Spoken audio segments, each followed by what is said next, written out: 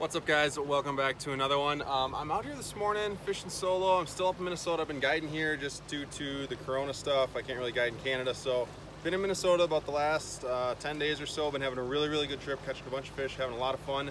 I got a day off. Um, so what am I gonna do? I'm gonna go fishing, of course. So hopefully we're gonna get ourselves a big one on camera today and show you guys a good time.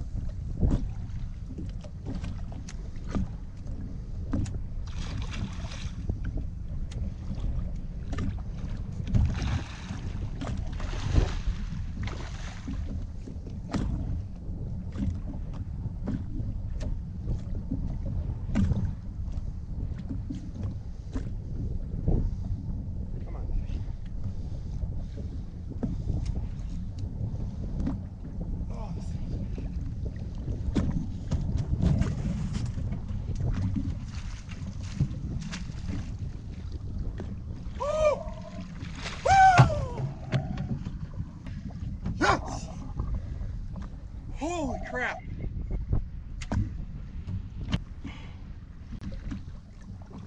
Yes! Holy crap, that thing's big. Oh, perfect, right now.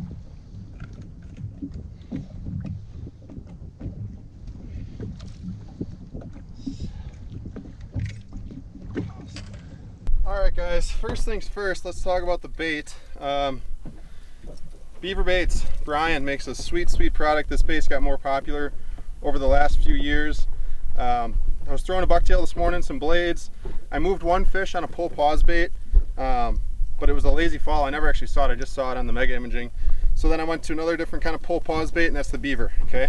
Um, I cut the line just because it was wrapped around her. It's easier. I probably need to retie anyway. All right. XL Beaver, all right? Um, there's a couple mods I do to this bait, and I guess we'll talk about that after I uh, get the fish out here, but Beaver baits, absolutely awesome. Caught a bunch of fish in these in my trip up here. If you guys don't have any of these, you should really have at least one or two in your box. They're just so, so versatile. We'll, go- we'll go over that. I want to get this fish out. I think it's uh, it's a good one. I think it's, I don't know. We'll see. It's good. It's good. Wow, what an incredible battle. Those head shakes next to the boat. I was honestly thinking to myself, how am I going to net this thing by myself? I'm just, I'm shaking, I'm at a loss for words. What an incredible fish. I'll show you here quick and then we're gonna get her back right away. All right. There she is. what a tank. So cool. Awesome fish. Wow, she is heavy.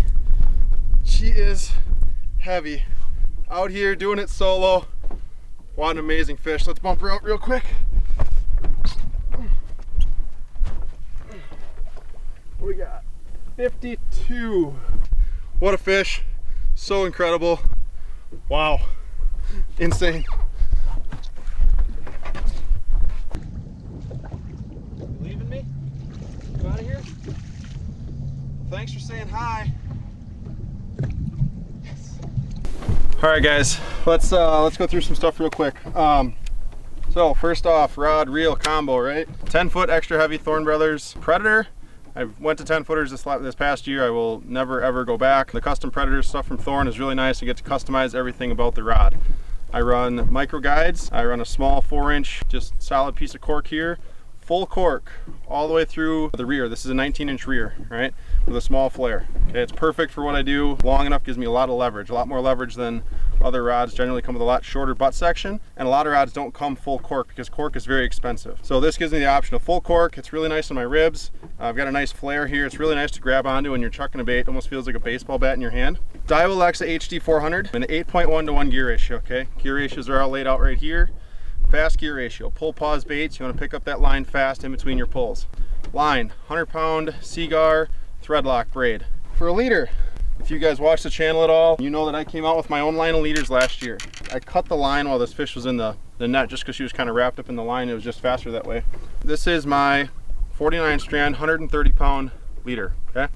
I run, uh, I, make a ball bearing swivel on one end, and then a welded ring on the other. I attach all my baits with split rings. On the front of all my baits, doesn't matter if it's a bucktail, a beaver like this, there's a split ring. I attach all my baits with a split ring. So I'll just have a split ring pliers handy. There's a split ring on every one of my baits. When I want to change baits, grab your split ring pliers, put it on the ring, twist, you're on, okay?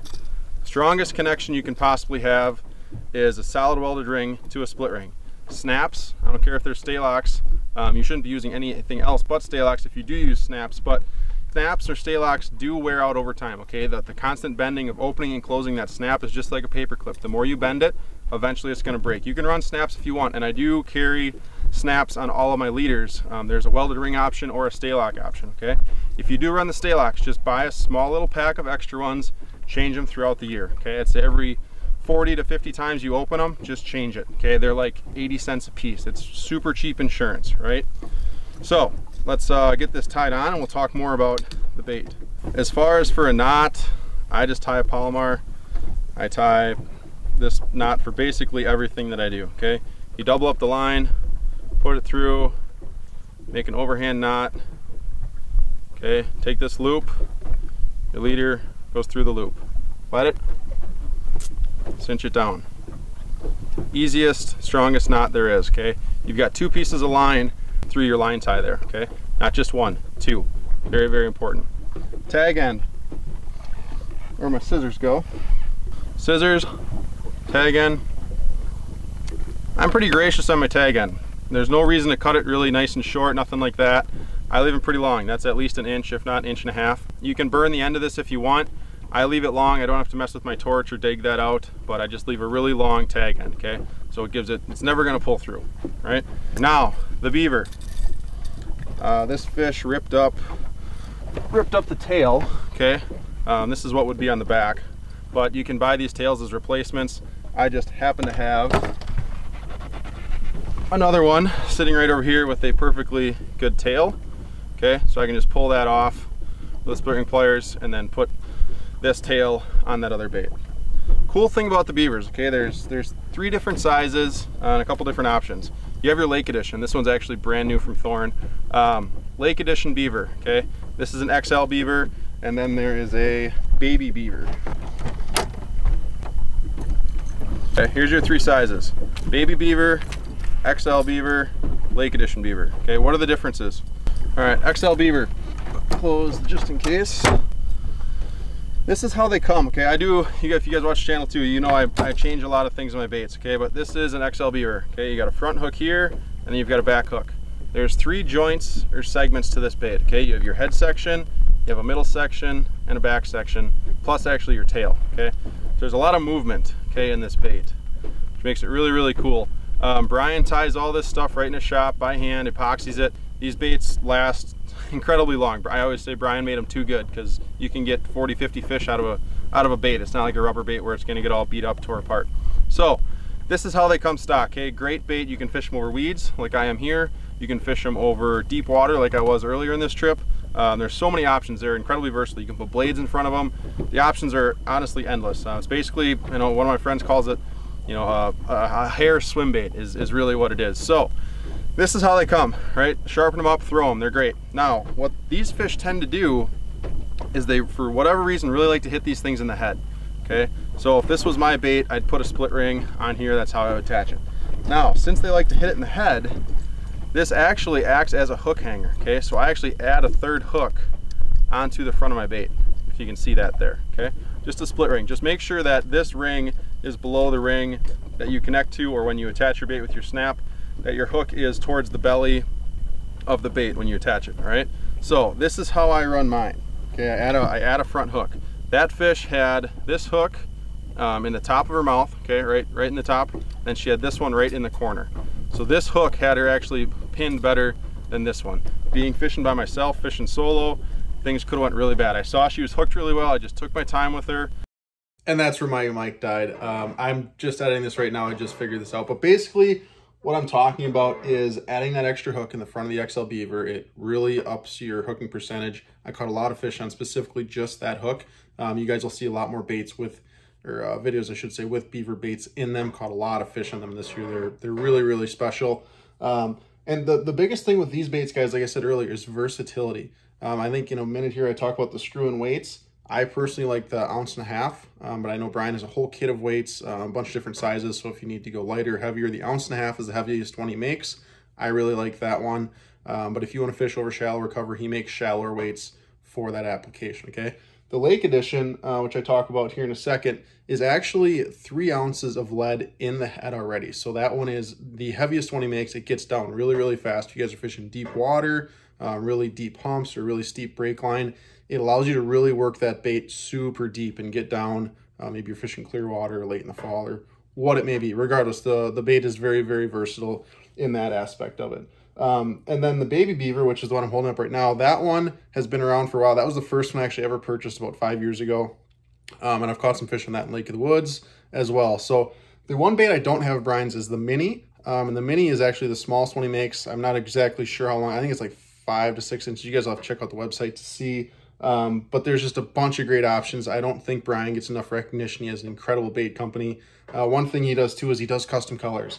I actually have some custom colors wrote up here for Brian that I sent to him for some stuff for some lakes that I personally want to fish, um, some stuff that he doesn't offer, and he'll do it for no extra charge, okay? Um, this stuff is actually absolutely amazing. And like I said in the video a few times, guys, if you guys order a Beaver's Baits um, between now and December 31st of 2020, you will receive a free leader from myself with the purchase of each beaver bait. Buy three beavers, get three liters for free. So really great deal for you guys, but check out his website. I'll leave it in the description below and thank you guys for watching. We'll see you on the next one.